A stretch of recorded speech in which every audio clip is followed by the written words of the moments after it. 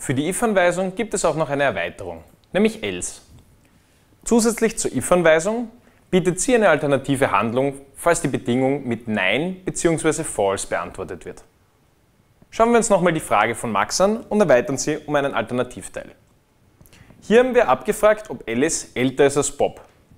Falls dem so ist, wird Alice Alter als neues Maximalalter definiert und diese Zeile hier in der Konsole ausgegeben. Wir können das jetzt auch gleich einmal probieren und wir werden sehen, es wird nur das Maximalalter von hier unten ausgegeben, weil Alice natürlich jünger ist als Bob. Wir können jetzt hier also einen else-Block noch hinzufügen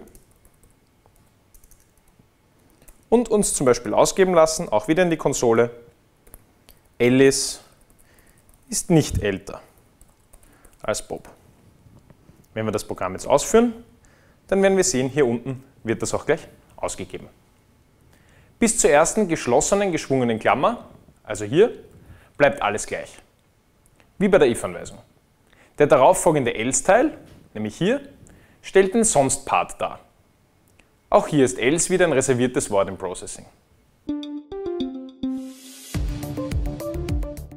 Die allgemeine Struktur sieht also so aus.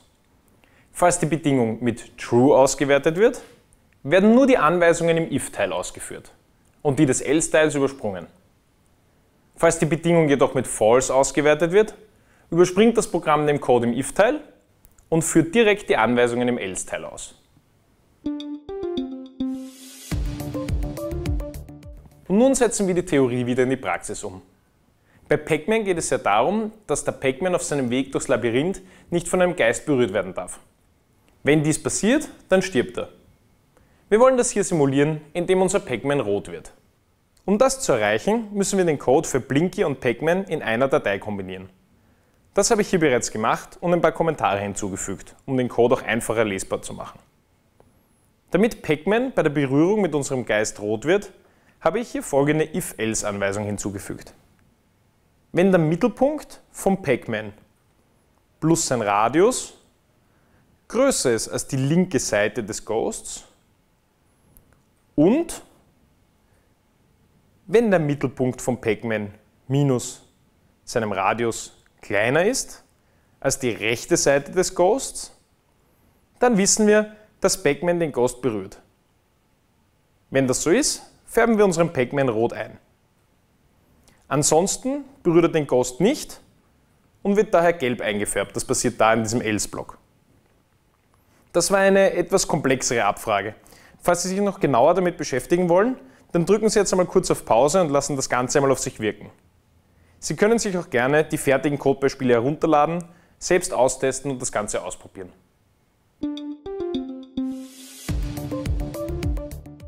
Man kann if-Blöcke auch beliebig verschachteln. Wenn wir uns das Beispiel mit Alice und Bob noch einmal ein bisschen verändert anschauen, dann werden wir darauf kommen, dass die Aussage Alice ist jünger als Bob nicht immer stimmt. Es gibt also einen Fall, wo Alice nicht jünger als Bob ist aber auch nicht älter als Bob. In dem Fall nämlich, dass beide gleich alt sind. Wir benötigen also eine weitere Verzweigung, indem wir hier in den else-Block noch einen if-Block und einen else-Block setzen. In dem if-Block fragen wir einfach ab, ist Alice gleich alt wie Bob? Wir erinnern uns, das Doppelte ist Gleichzeichen. Und in diesem Fall geben wir in die Konsole aus, wieder mit printLine, Alice ist gleich alt wie Bob.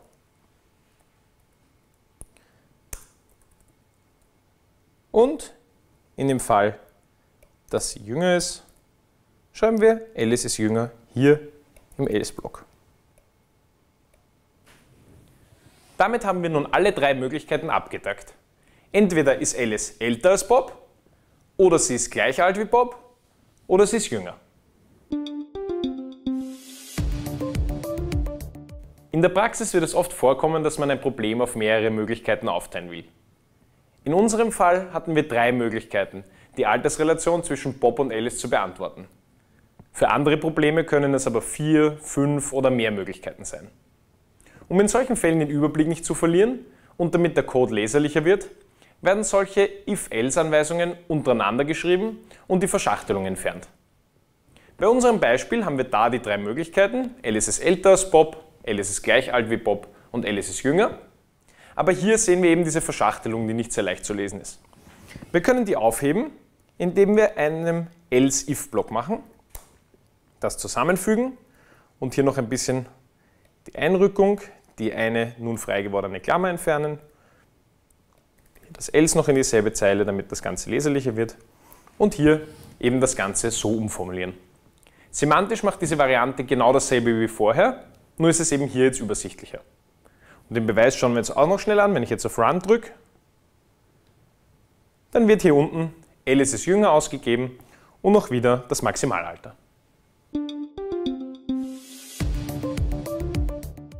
Der Aufbau für mehrere Alternativen sieht im Allgemeinen also wie folgt aus. Wir fangen mit einem if an und können beliebig viele else-if-Blöcke einfügen. Am Ende kann optional auch noch ein abschließender else-Block eingefügt werden. Nachdem Sie nun gelernt haben, wie Sie Entscheidungen in Ihre Programme integrieren können, ist es nun an der Zeit, das Gelernte auch in die Praxis umzusetzen. Viel Spaß und viel Erfolg!